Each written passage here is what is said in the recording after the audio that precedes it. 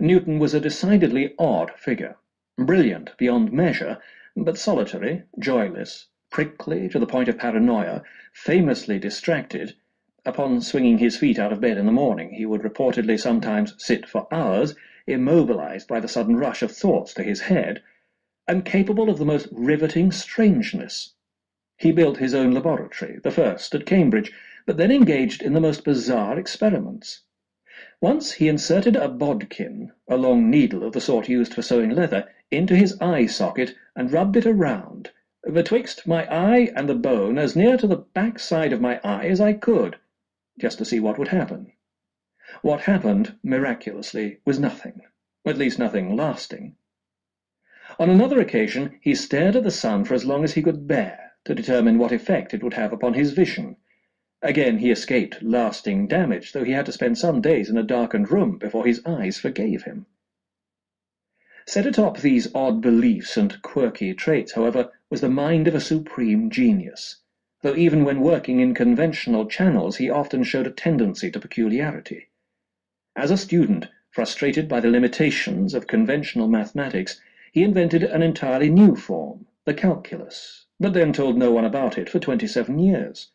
In like manner he did work in optics that transformed our understanding of light, and laid the foundation for the science of spectroscopy, and again chose not to share the results for three decades.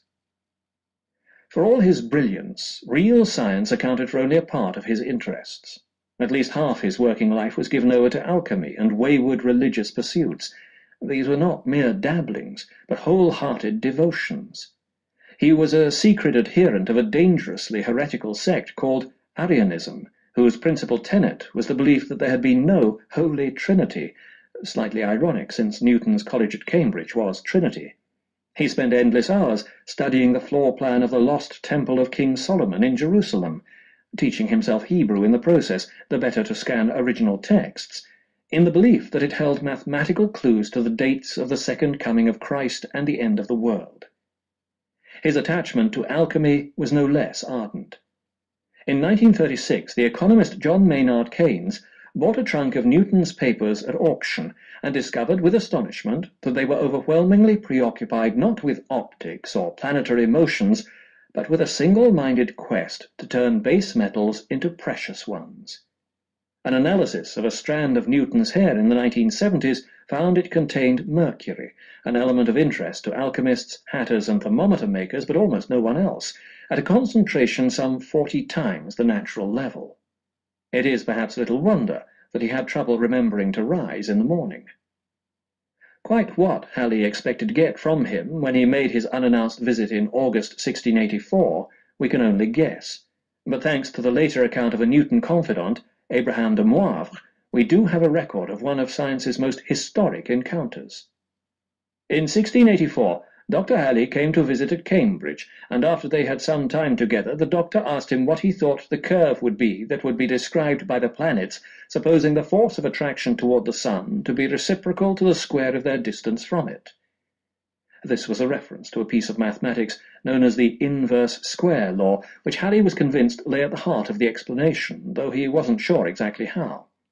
Sir Isaac replied immediately that it would be an ellipse. The doctor, struck with joy and amazement, asked him how he knew it. Why, saith he, I have calculated it. Whereupon Dr. Halley asked him for his calculation without further delay. Sir Isaac looked among his papers, but could not find it.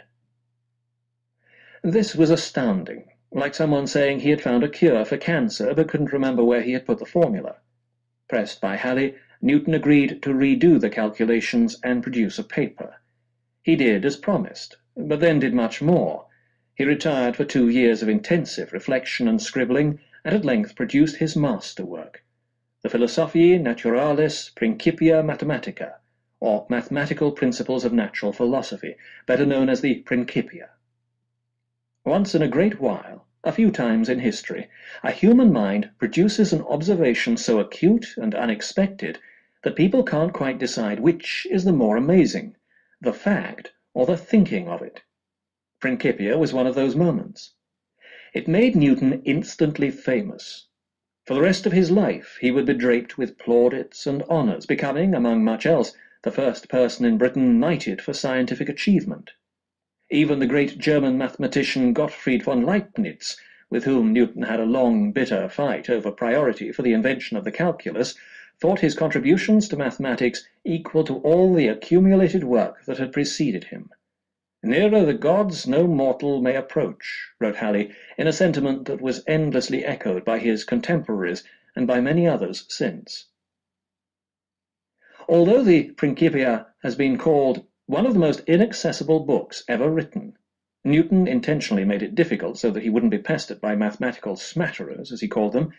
It was a beacon to those who could follow it. It not only explained mathematically the orbits of heavenly bodies, but also identified the attractive force that got them moving in the first place gravity. Suddenly every motion in the universe made sense. At Principia's heart were Newton's three laws of motion, which state very boldly that a thing moves in the direction in which it is pushed, that it will keep moving in a straight line until some other force acts to slow or deflect it, and that every action has an opposite and equal reaction, and his universal law of gravitation. This states that every object in the universe exerts a tug on every other. It may not seem like it, but as you sit here now, you are pulling everything around you, walls, ceiling, lamp, pet cat, toward you with your own little, indeed very little, gravitational field. And these things are also pulling on you.